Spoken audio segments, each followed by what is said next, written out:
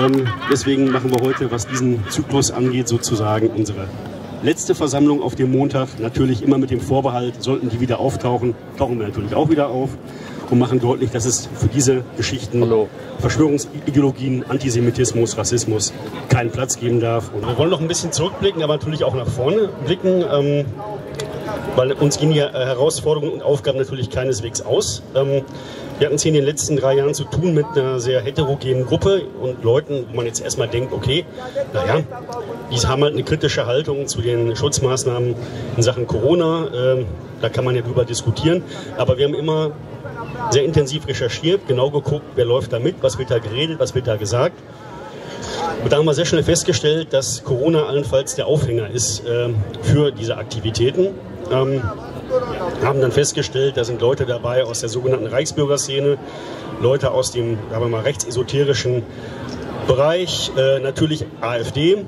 Ähm, und äh, diese Leute waren recht aktiv. Ne? Das war einer der Orte, wo die AfD offen auftreten konnte, haben teilweise die Fronttransparente getragen, waren dort gern gesehen.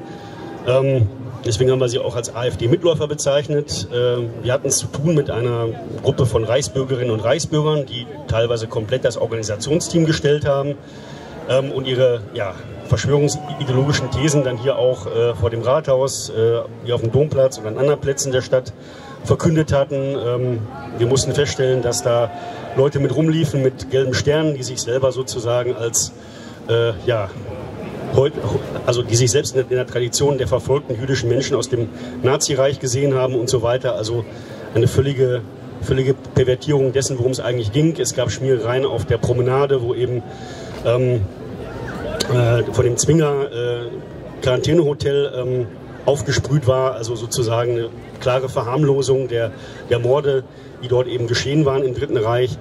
Ähm, und solche Verharmlosungen der Nazi-Verbrechen waren da immer wieder gang und gäbe. Äh, man, man bemühte sich halt selbst als Opferrolle aufzutreten und ich glaube, das haben wir insgesamt ganz ordentlich entlarvt, kritisiert und auch offengelegt. Äh, wir haben immer deutlich gemacht, es darf hier in Münster keinen Platz geben für Rassismus, für Antisemitismus, für soziale Ausgrenzung und eben für die extreme Rechte insgesamt. Und das soll auch so bleiben. Und das zum Abschluss natürlich auch die Leute im Blick behalten, gegen die wir hier über drei Jahre demonstriert haben. Ein sogenanntes Königreich in Deutschland ein sogenanntes Königreich Deutschland, das im Aufbau sein soll, konnte man neulich in der Presse lesen. Wir haben das alles schon seit langem im Blick. Also kurzum, diese Themen werden uns weiterhin beschäftigen. Wir werden weiterhin aktiv und auf der Straße sein. Für heute aber sind wir durch. Danke nochmal für eure Unterstützung. Danke für euer Kommen. Und ähm, macht's gut und wir sehen uns sicherlich bald wieder auf den Straßen und Plätzen. Dankeschön.